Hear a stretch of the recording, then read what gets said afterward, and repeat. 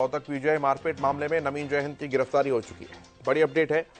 PGI security chief की शिकायत पर यह पूरा केस दर्ज हुआ था।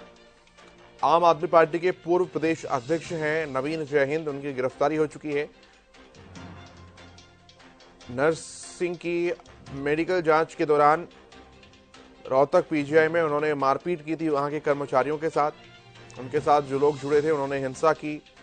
जो अधिकारी वहाँ पर तैनात थे, उनके साथ मारपीट की गई और उसके बाद ये शिकायत दर्ज करवाई गई, जिसमें एफआईआर पहले दर्ज हुई। पुलिस ने मामले की जाँच पड़ताल की और आज दोपहर पुलिस उनके आवास पर पहुँची, उनके कार्यालय पहुँची और वहाँ से नवीन जहीन को गिरफ़्तार कर लिया।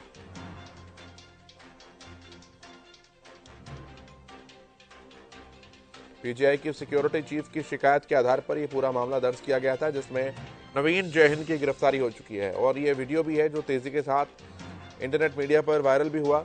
ये नीले कुर्ते के अंदर जो आप देख रहे हैं, ये नवीन जयहिंद हैं और इन्होंने मारपीट की वहाँ के स्टाफ के साथ।